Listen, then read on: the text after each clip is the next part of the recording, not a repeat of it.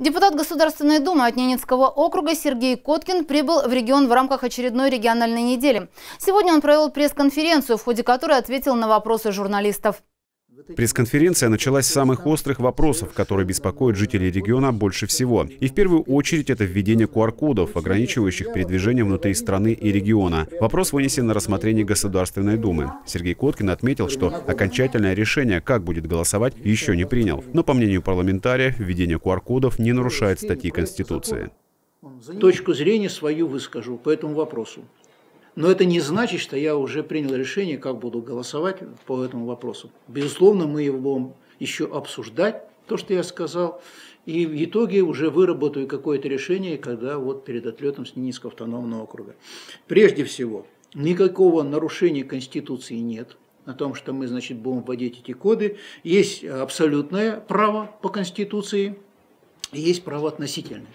Так вот, право на жизнь является абсолютным правом, по Конституции, которая не может быть никакими ограничена никакими федеральными законами.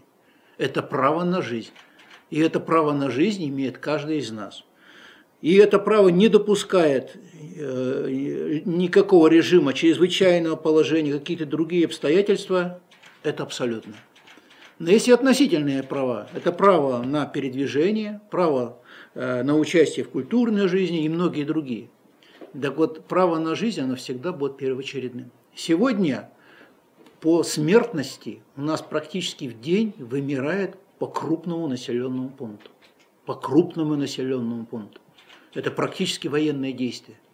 По смертности Россия занимает чуть ли не самые передовые места по, в целом мире. Почему? Потому что у нас есть вот такие люди, которые говорят, что нас чипируют, нас заставляют вакцинироваться, нас кодируют, значит, лагеря и прочее. Эта прививка сегодня не от того, чтобы не заболеть, это прививка от смерти. Исходить из того, чтобы защитить людей, тех, кто хочет жить.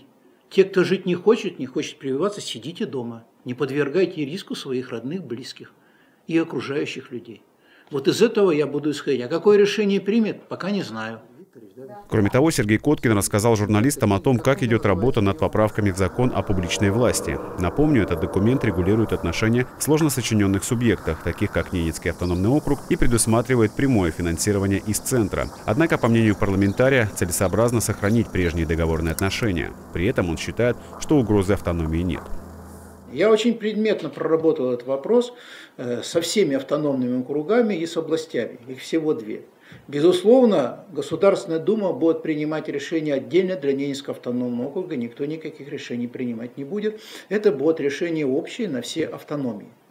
Значит, есть мнение о том, что нужно сохранить договорные отношения с э, субъектами, нужно сохранить субъектность, я подчеркиваю, субъектность автономных округов, чтобы они были субъектами.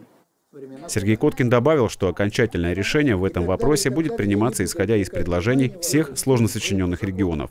Илья Сахаров, Ольга Русул, Леонид Шишелов, телеканал «Север».